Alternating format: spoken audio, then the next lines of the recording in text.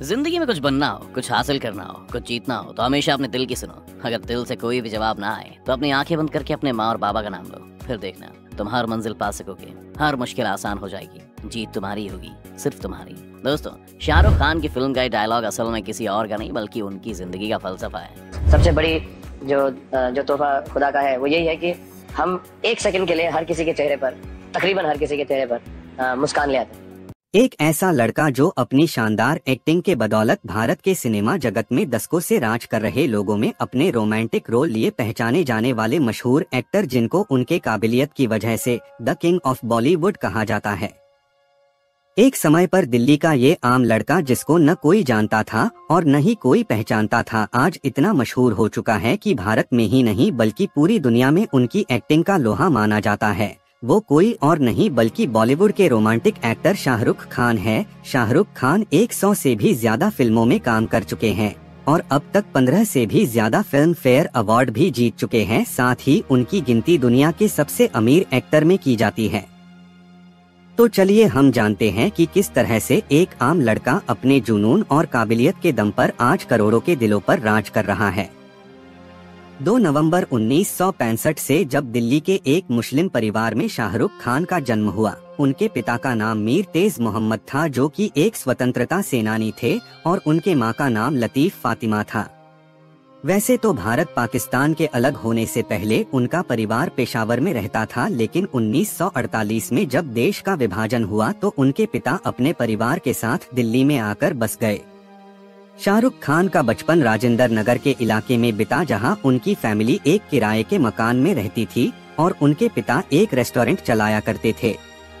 शाहरुख खान ने अपनी शुरुआती पढ़ाई दिल्ली के सेंट कोलम्बियस से की और पढ़ाई में अच्छे होने की वजह से उन्होंने स्कूल का सबसे बड़ा अवार्ड सोर्ड ऑफ़ ऑनर भी जीता था। लेकिन सिर्फ़ 16 साल की उम्र में शाहरुख खान के जीवन में एक दुखद पल तब आया जब उनके पिता की मृत्यु हो गई। हालाँकि इतने कम उम्र में पिता के खोने के बाद भी शाहरुख के अंदर परेशानियों से लड़ने का जज्बा कभी भी खत्म नहीं हुआ। उन्होंने 1985 में हंसराज कॉलेज में एडमिशन ले लिया, जहाँ पर उन्होंने एक थिएटर ग्रुप किया और उस ग्रुप में रहते हुए बैरी जहाँ के अंतर्गत एक्टिंग सीखी। इसके बाद शाहरुख मास कम्युनिकेशन में मास्टर डिग्री लेने का फैसला किया, लेकिन एक्टिंग के लिए पढ़ाई बिच में छोड़ दी और फिर इसी बिच उन्होंने नेशनल स्कूल ऑफ़ ड्रामा लिया, जहाँ पर वे एक्टिंग के गुण सीखते रहे। शाहरुख खान का पहला रोल टीवी सीरीज़ दिल दरिया में था, लेकिन कुछ प्रोडक्शन परेशानियों के चलते यह टीवी सीरीज़ एक साल के बाद रिलीज़ हुआ और इसी बीच शाहरुख खान फौजी नाम के एक टीवी सीरियल में काम कर लिया था तो इस तरह से इनका टेलीविज़न डेब्यू एक टीवी से मिला। इसके बाद इन्होंने कई और टीवी सीरीज़ की, जैसे सर्कस, वागले की दुनिया इडियट और उम्मीद में काम किया और उस टाइम में शाहरुख खान ने जिस तरीके से एक्टिंग की थी, उनकी तुलना लोगों ने लेजेंडरी दिलीप कुमार से करनी शुरू कर दी थी।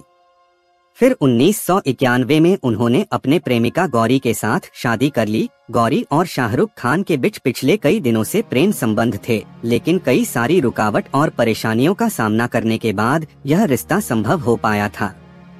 शाहरुख खान का एक्टिंग करियर अभी शुरू ही हुआ था कि फिर और एक बड़ा सदमा लगा जब उन्नीस सौ इक्यानवे में उन्होंने अपनी माँ को भी खो दिया और फिर वो इस दुहक को भुलाने के लिए मुंबई चले गए और अपने आप को एक्टिंग में पूरी तरह से झोंक दिया। मुंबई जाकर उनकी किस्मत भी उनका साथ दिया और एक्टिंग को देखते हुए उन्हें कई सारे फ़िल्मों में काम करने को भी मिल गया, जैसे कि सबसे पहले उन्हें हेमा मालिनी के डायरेक्शन में दिल आशना है के नाम के फ़िल्म में शाइन किया गया। यह हेमा मालिनी का एक डायरेक्टर के तौर पर डेब्यू फ़िल्म था। लेकिन उन्नीस सौ बानवे में रिलीज़ दीवाना मूवी शाहरुख खान की डेब्यू फ़िल्म बनी। इस मूवी में उनके साथ उस टाइम के स्टार एक्टर ऋषि कपूर ने भी काम किया था और फिर दीवाना बॉक्स ऑफ़िस हिट साबित हुई और इसने शाहरुख खान के बॉलीवुड करियर को एक अच्छा स्टार दिया। एक मूवी के लिए उन्हें Filmfare the best male debut से नवाजा गया। उन्नीस सौ बानवे में इसके अलावा इनकी तीन और भी फ़िल्में आई चमत्कार, दिल आशना है, और राजू बन गया जेंटलमैन। उन्नीस सौ तिरानवे में शाहरुख ने अपनी लीग से हटकर रोल किए, और इसी साल उनकी दो और फ़िल्म दर और बाजीगर आई, जिसमें कि वे हीरो की जगह विलेन की भूमिका निभाते हुए नज़र आए, और लोगों ने भी उनकी एक्टिंग की खूब तारीफ़ की। बाजीगर में उनकी अलग किरदार और शानदार एक्टिंग की वजह से उनको Filmfare award for the best actor इस तरह से बॉलीवुड में कदम रखकर सिर्फ़ दो साल के अंदर ही शाहरुख खान ने अपनी एक्टिंग के ज़रिए पूरी दुनिया में छा गए और फिर आगे शाहरुख खान कई सारे फ़िल्मों में विलेन का किरदार निभाते हुए नज़र आए। कोई भी एक्टर शुरू में अपने विलेन वाले किरदार करने से बचता है, लेकिन शाहरुख खान उसके बिल्कुल विपरीत काम कर रहे थे और वो हर चैलेंजिंग रोल लोगों के बीच फ़ेमस होते जा रहे थे। उन्नीस सौ पंचानवे में शाहरुख खान ने कुल सात फ़िल्मों में काम किया, जिनमें से उनकी सफल फ़िल्म कारण अर्जुन और दिल वाले दुल्हनिया ले जाएँगे शामिल थी, और वही ये मूवी थी जिसके बाद लोगों में शाहरुख खान की एक रोमांटिक छवि बन गई। इस फ़िल्म ने कुल 10 फ़िल्म फेयर अवार्ड जीते थे, जिनमें से शाहरुख खान को दूसरी बार बेस्ट एक्टर का अवार्ड मिला। इसके बाद से शाहरुख ने अलग अलग फ़िल्मों में अहम भूमिका निभाई और उन्नीस सौ अठानवे में करण जौहर के डायरेक्शन में आई फ़िल्म कभी खुशी, कभी गम में एक्टिंग में उन्हें एक बार फिर से फ़िल्म फेयर में उन्हें बेस्ट एक्टर का अवार्ड मिला और इसी तरह शाहरुख ने पंद्रह फ़िल्म फेयर अवार्ड से भी ज़्यादा जीते हैं। फिर आगे शाहरुख खान ने बहुत सारी फ़िल्मों में काम करते रहे, जिनमें से कुछ सुपरहिट रही तो कुछ फ्लॉप भी रही। 1999 में शाहरुख खान ने जूही चावला के साथ एक प्रोडक्शन हाउस खोला और इस तरह से वो एक प्रोड्यूसर भी बने।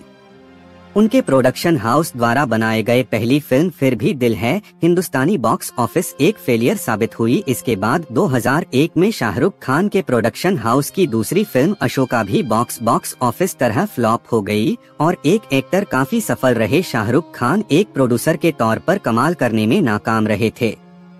तभी 2001 में शक्ति द पावर फ़िल्म शूटिंग पीठ में चोट लग गई और उस चोट की वजह से उनकी पीठ में काफ़ी दर्द रहने लगा था और जब इसका इलाज भारत में न हो सका तो उन्होंने लंदन में जाकर ट्रीटमेंट करवाया और फिर भारत वापसी के बाद उन्होंने कम से कम प्रेशर में काम करने का डिसीज़न लिया।